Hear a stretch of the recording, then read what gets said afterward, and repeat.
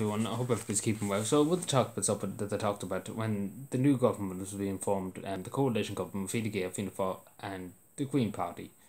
Um, and I remember sitting here, I was talking here, and I was saying, I was reading off the computer who was the new government ministers, and I remember there was a good bit of controversy um, when I said Charlie Flanagan was going, and everyone was like, Minister Helen McEntee would be a lot worse. Um, I still stand by Minister Charlie Flanagan was somebody that, you know, I didn't like at all. He wanted to bring back the black and tans. I don't think anybody would say, and I don't know how he's still a TD, but sure, look at, he, hopefully his day will come or his judgment will come. Um, you know, hopefully he'll be kicked out some stage of the down because I think the British Parliament would be more fitting for him. Um, but yeah, here's the thing. I sat here and I talked about who's the new minister's white. And I came to the education minister, a first time TD for Kerry who only got 4,000 votes in the in the election, more or less. Danny Healy-Rae, Michael Healy-Rae ran away with it than Kerry. Um, and they came to head um, Minister Norma Foley. Yes, no, a good friend, Norma Foley, who pisses everyone off. Um, so I came to her and I was like, I cut her some slack because she's a first time TD. I cut her a bit of slack. Um, and she's you know she's first time going into the eleven, so she might not know what she's doing, and I still cut her a bit of slack.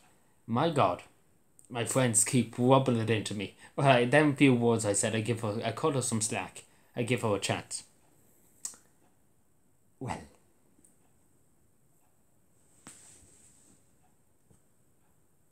I never been so wrong in my life, and that's literally the most regrettable thing I ever said in my whole life. I give her a chance, I cut her some slack. The mind boggles at how naive if I was to give her a chance. Um, and this, like, how, like for a while when she was going on with the leaves, I was losing the will to live. I'm not gonna lie to people because it, it was nonsensical what Norma Foley was talking about half of the time. It wasn't.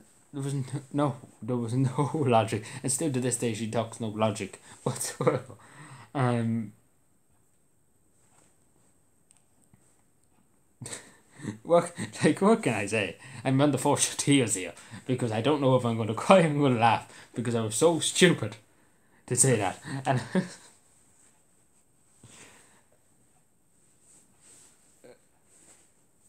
I, I really don't know. I, I like my friends, and I know my friends have recorded it and uh, and every time I say something about Norma Foley, they rewind that